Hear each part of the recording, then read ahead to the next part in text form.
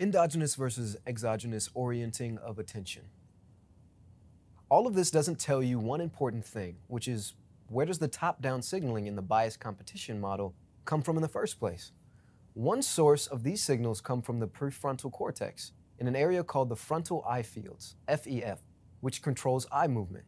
There are also regions in the parietal cortex that are involved, such as an area around the intraparietal sulcus, IPS, or the superior parietal lobule, SPL. Together, they form what is sometimes called the dorsal attention network, DAN, colored in orange here. It's called a network because the areas tend to work together and they are closely connected. These areas in DAN also receive projections from the dorsolateral prefrontal cortex, DLPFC, an important area that we have discussed in the last class. Recall that the DLPFC is a bit like a higher executive region, combining inputs from the dorsal as well as the ventral streams, when attention signals come from the DLPFC to DAN to ultimately bias early sensory representations, we can think of it as the endogenous orienting of attention. That is, as a person, you voluntarily choose where to attend based on your interest or following some verbal instructions. But DAN also receives input from the ventral attention network, VAN, colored in blue here.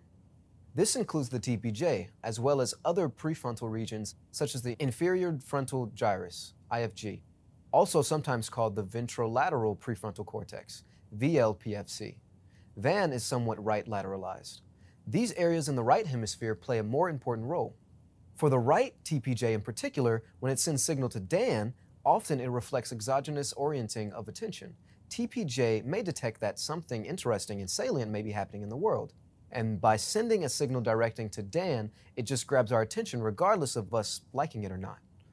This may explain what went wrong in some neglect patients with their right TPJ damaged.